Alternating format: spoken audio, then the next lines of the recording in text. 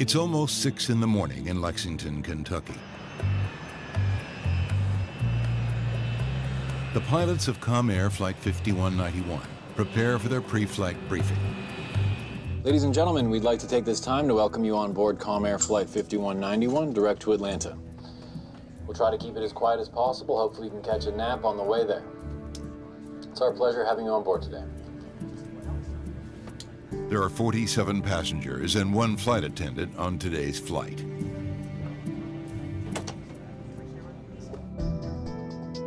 The pilots begin their briefing. Right flex takeoff procedures off of, he said what runway? 24? It's 2-2. Today, they are bound for Atlanta, Georgia. Just a 67-minute flight straight south from Lexington's Bluegrass Airport. Lexington's air traffic controller clears Flight 5191 to the runway.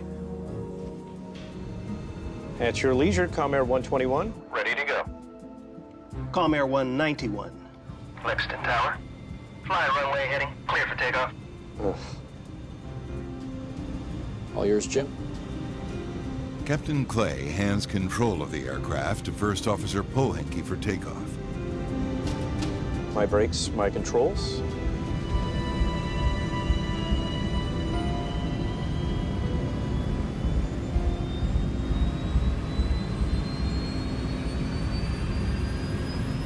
Set thrust, please.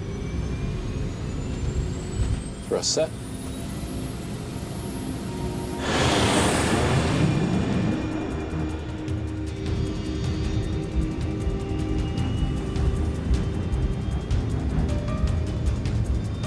That is weird with no lights.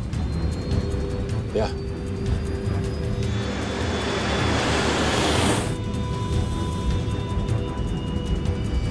Hundred knots. Checks. Something's not right V1. Rotate.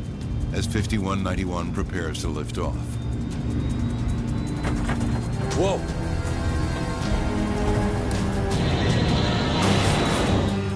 Damn it!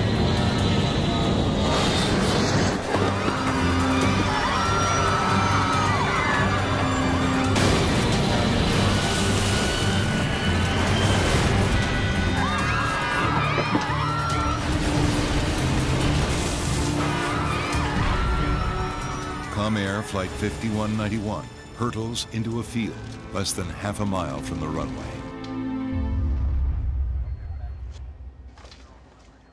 This is Lexington. Alert 3.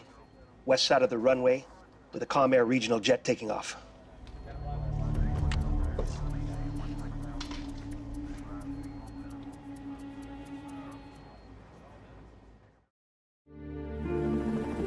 Forty-nine people are dead after the tragic takeoff of Comair Flight 5191. First Officer Polehinke is the only survivor. The question NTSB investigators now need to answer is why Comair Flight 5191 couldn't get off the ground.